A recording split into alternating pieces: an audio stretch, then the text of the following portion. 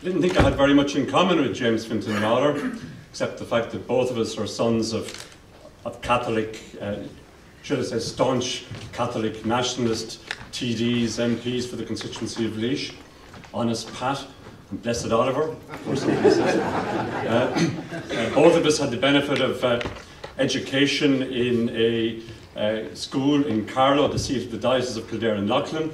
Uh, that's unfortunately where the comparison ends. He joined the Young Irelanders, I joined Young Fine Gael.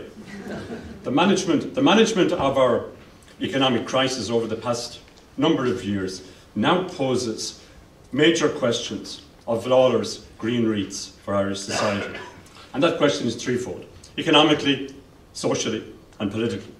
Lalor addressed this issue himself in 1848 when he opined that written constitutions and statutory laws were mere paper and parchment and of no value without what he described as a social constitution, as referred to by Diarmuid. And our challenge has highlighted commodities more precious than diamonds or gold. These commodities are trust and confidence.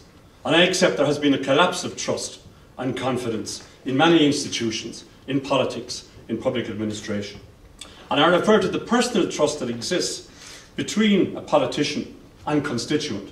That remains the core of the system. I'm elected to Parliament by the people of Laois, albeit with a wider suffrage than that existed uh, in the time of honest Pat Lalor. But the bond of trust remains the same. People place trust in me to carry out my job effectively and efficiently in their best interest. They judge me regularly at the polls.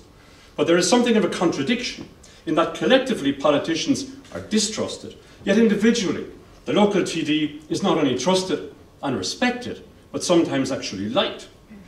The restoration of collective trust is the greatest challenge facing Ireland and its people, because I see a lethal mixture of apathy and cynicism, which, unless we address, will delay our economic recovery and inflict lasting damage on our system of governance. Currently, we're embarking on a profound programme of reform and renewal at all levels of Irish society. While this programme must be led by the political class, it must not be exclusive to the political class.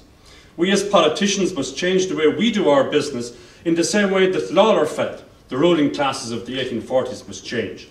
He advocated agrarian uprising, ultimately violence, which he thinly disguised as moral insurrection. In my case, I advocate political and constitutional reform at an accelerated pace than that which we now see. As we, and, and I think we can do that now as the painful effects of the so called austerity budgets result in economic growth and jobs. In this regard, the current debate around the Seanad must not be seen as a standalone reform, and I hope we come back to this in the context of our discussion. Explicit in the writings of Lalor is active citizenship, which needs to move up our agenda and develop and foster a culture of trust. People need to identify bad practice, stop it in its tracks. Just as in Lalor's time, we need tools for countering deception and wrongdoing and malpractice and mechanisms that allow us foster a culture of trust. We must think differently about truth and perception. We politicians must practice the tactics of straight talking and authenticity. Election promises tell people what we think we want them to hear. But as citizens of a republic with rights and responsibilities, we all have a duty to take this responsibility seriously. This responsibility includes being active participants in our community, in our politics, and in our wider society. To quote Plato, we are not made for ourselves alone. Our family, our community, our country, all have a claim on our birth. And one such example of this active citizenship, as referred to by Diarmuid, is the recently inaugurated Citizens Constitutional Convention. So, as we officially leave recession and ready ourselves to remove the shackles of the bailout conditions, which may well be compared to Lalor's landlords, we should be more confident about our future. We should face the future with an open but always questioning mind. We can be confident that persistence, hard work, and determination will see us through our present difficulties. The positive face of Ireland is attractive. Our own current difficulties weigh heavily on our minds, and rightly so. We made catastrophic mistakes and glaring omissions, but still, if real incomes in Ireland return to their levels of 2000, this would still represent an enormous improvement compared to the 1970s when we joined the EU, as by far its poorest member. Casting our eyes even further back to reflect on Lalor's Ireland, we appreciate the benefits now of a stable and secure country overcoming the challenge with vigour and confidence and a rigid determination.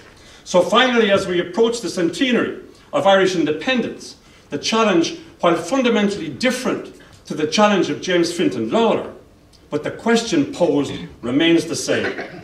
Who wins the wreath that will be green forever? Thank you.